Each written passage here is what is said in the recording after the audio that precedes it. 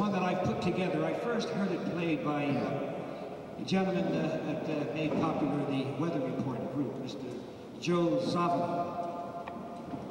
And he uh, performed this on the synthesizer. and I thought I would uh, write it for the uh, 15 uh, multiphonic acoustical band, sort of bring it back to earth again. And uh, this is called Carnavalito.